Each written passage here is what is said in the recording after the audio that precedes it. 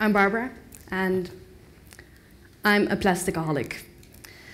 Um, this means that I use plastic at least 100 times a day, um, from when I wake up in the morning and I touch my plastic phone cover to snooze a few times before getting out of bed, until my lunchbox, my pen, my grocery bag, the keyboard of my computer, even the toilet seat was made out of plastic. um, but there are also a lot of other objects that are actually hidden and have hidden plastics in them, like paint or even my nylon stockings. Once plastics were actually designed as a solution, a way to make exclusive objects like, for example, hairbrushes, available to anyone. Can I maybe ask who of you owns a hairbrush? Maybe, yeah, well, quite a lot of people. Hairbrushes used to be something very exclusive because it was dependent on very scarce materials like ivory or wood. But because of the invention of plastics, a little bit over a century ago, now we can all own our own plastic hairbrush. And soon after its invention, plastic became the symbol of consumerism. And I think it's safe to say that we are actually all plasticaholics. But it's not all bad, because there are also a lot of essential functions in our society that are made possible by plastics, such as a lot of medical inventions, like the tubes for a baby incubator, or, for example, blood bags. However, even these essential plastics are eventually being wasted. And only a very small percentage of the plastics that we waste are currently being recycled.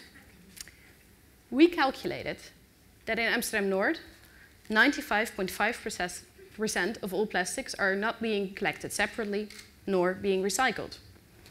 And most of the plastics that we waste end up in a huge waste incinerator, where the resources that went into the plastic waste are literally getting burned and get lost.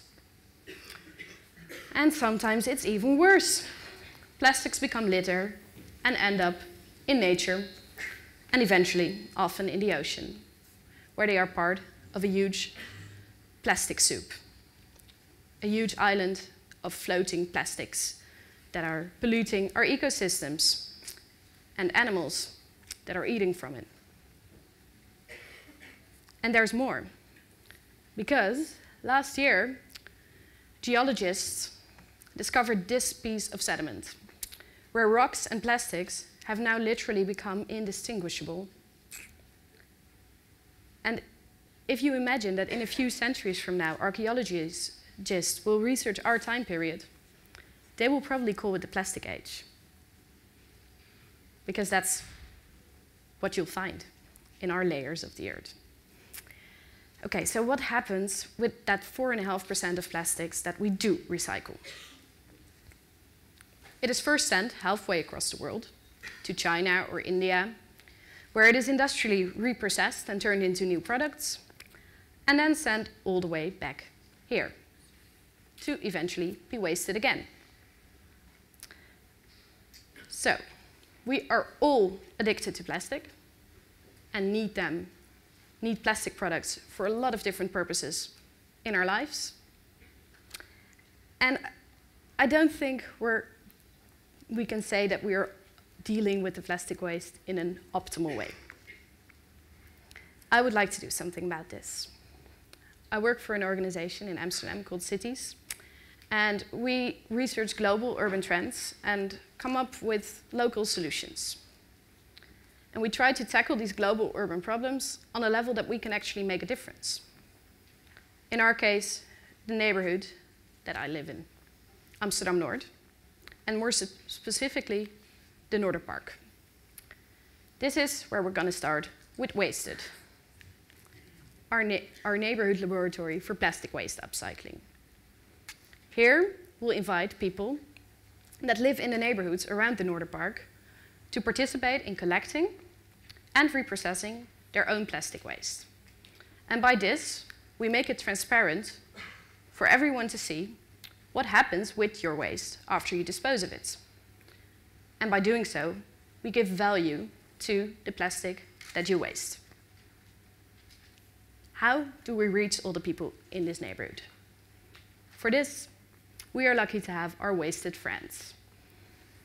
Local organizations, schools, businesses that are collecting their own plastic waste, but also helping us with spreading the word about wasted. But that's not enough. We'd like to give something back to people that make the effort to separate their plastic waste from different waste streams and to create an incentive for people. So, for every full bag of plastic waste that you bring to our laboratory, we'll give you one wasted coin in return. And this wasted coin you can use at local businesses and, and get a reward in return. So, for example, discount on a cup of coffee, or maybe on a new hairbrush. Um, but still, throwing away your trash is a routine. And routines are extremely difficult to change. Because honestly, I don't really think when I'm throwing away my trash. And I think most of you don't either. And because of that, you might read or watch or listen to a TED talk about plastic waste, but the next time that you throw away your plastic waste, you don't connect those two dots. But luckily, there is a group of people that is really good at changing their routines.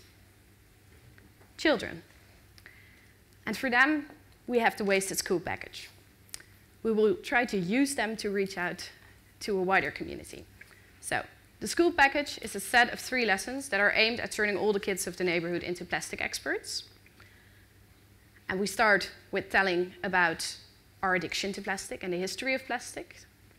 After that, they will get a crash course in plastic archaeology and learn how to distinguish different types of plastics, which ones are harmful or not.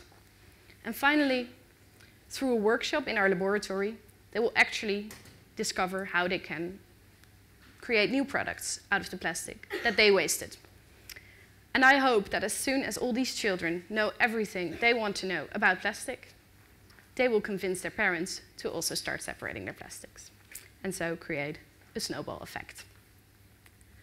So, there I am with my laboratory in the park, and I have the wasted friends, I have uh, the schools and the children and the households and the businesses all bringing their plastic waste to us. What to do with all of this plastic waste? We would like to create something to give back to that community. And that's the challenge that we gave to the Wasted Design Club, a group of young product designers that came together in January. And they come up with this, the wasted block. It's a multifunctional block that can be combined and recombined into any product that you like. It's made out of LDPE plastic, and that's the type of plastic that we waste the most. It is commonly used for plastic bags, but also for food wrapping, for example. So we create these blocks, and you might want to use them to build a plastic container, a, plant container out of plastic. But as soon as you don't need your plant container anymore, because maybe your plant died, you just take apart the blocks and you turn it into a chair or a table or a bench or whatever you can think of. And thus, you never have to throw this wasted block away again. And this is what makes the wasted block the essence of what I want to do with wasted.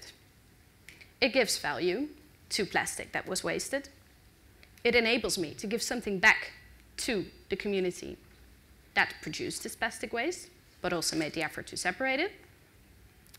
And it's designed to never be disposed of again and thus really closes a material loop. It's for this reason that I think that we should all get wasted. Thanks.